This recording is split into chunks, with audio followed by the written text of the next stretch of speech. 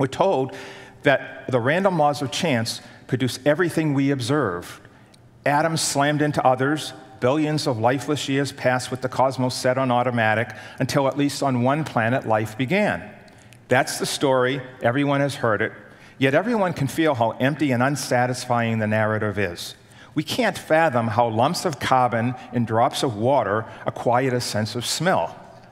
Subscribers to this dumb random universe model, meaning almost everyone, well, except for you folks, state that absolutely everything appears by chance. It seems reasonable. Chance makes it seem plausible that a cosmos as numb and insensate as Scheele could come up with hummingbirds by randomness alone. The dumb universe paradigm requires that we explain the complex physical and biological architecture we see around us by some means other than God. And chance is all we have. So the dumb universe model sinks or swims on the life raft of randomness. Randomness is also a central key to, to evolution, where, of course, it works splendidly. Darwin wasn't whistling in the wind with natural selection. It's obvious that giraffes developed long necks because those giraffian predecessors who received random mutations for longer necks had a survival edge. They could grab leaves and fruit from higher branches over time, and it doesn't take terribly long to select longer, necks, longer necked animals, gave them a leg up. Evolution works, and it's based on random mutations coupled with natural selection.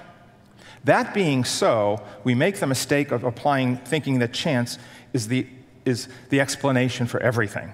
This includes the entire universe, from the laws of nature themselves to the arising of life and consciousness.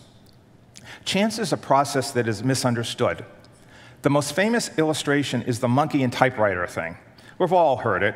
A million monkeys type ra on, randomly on a million keyboards for a million years, you'd get all the great works of literature. So, would this be true?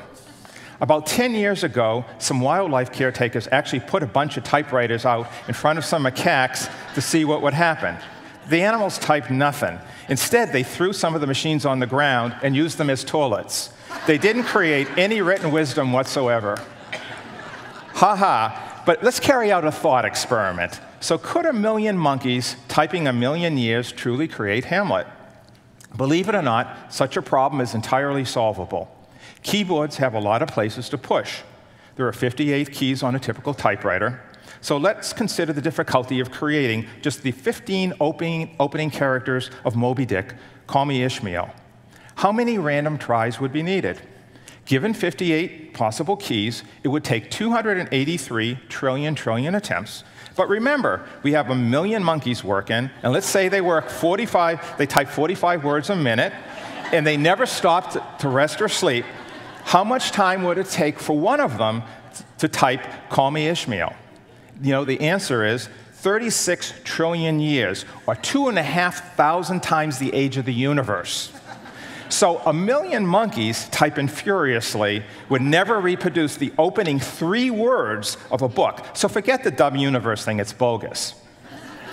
So, back. So back to your, our question. Can you get a cosmos, the cosmos that we see, with the complex biological designs of the brain and the trumpeter swan, swan by random collision of atoms alone? If randomness takes 36 trillion years to type a single three word passage, the answer is obvious not a chance. But even if we ignore this, there's a more serious problem. It turns out that our universe has an exquisite set of properties that are Goldilocks perfect for life to exist. We live in an extraordinarily fine tuned cosmos, a place where random any random tweaking wouldn't allow life to exist. If gravity were 2% different, or if you changed the power of the Planck length or the atomic mass unit, we would never have the sun or life. So, by any stretch of wishful thinking, a cosmos that allows life is inconceivable by chance alone. Randomness is not a tenable hypothesis. Truth be told, it's close to idiotic, right up there with the dog ate my homework. So let's sum up the most basic do or die physical conditions for life to come into existence. First, you need two fundamental forces electromagnetism and the strong force. They must have very specific values. Electromagnetism keeps the electrons attached to atomic nuclei, allowing for the existence of atoms. But atomic nuclei wouldn't hold together without a perfectly tuned strong force, which allows protons to cling together.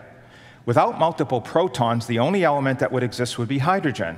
And while known as anti hydrogen, it couldn't produce any kind of organisms, even if you waited eons until the cows came home.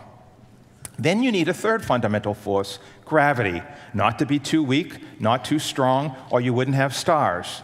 And I could keep on going, but suffice it to say, there are almost 200 physical parameters that must be exactly what they are within a percentage or so in order for stars to undergo nuclear fission and create their warmth, for planets to form, and for all the elements to be created.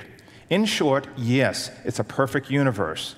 And we haven't even gotten to the life creation business with its own crowded stadium of requirements, such as worlds that are not too hot or cold, or radiation filled, or specific properties of, of key elements, such as, such as oxygen and carbon, that need to exhibit just the characteristics we observe.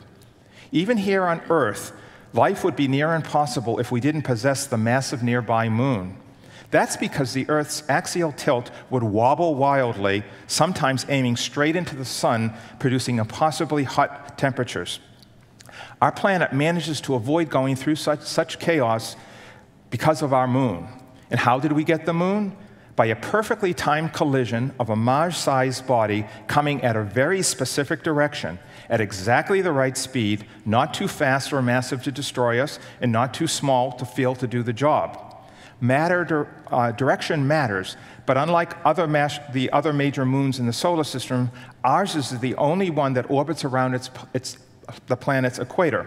If it orbited normally, we wouldn't stay in our orbital plane and exert its, tor its torque in a sun vector alignment, which stabilizes our axis. Yet another accident. This is an extremely unlikely universe, so unlikely that even the most die-hard physicists concede that the cosmos is insanely improbable in terms of its life friendliness.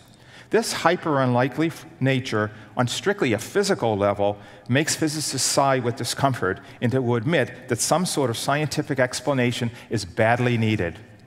If we apply Occam's razor, that is, the simplest explanation is usually the correct one, Biocentrism offers the most obvious explanation for our improbably, improbable life friendly universe. Why? To me, the answer is simple. The laws and conditions of the universe allow for the observer because the observer generates them.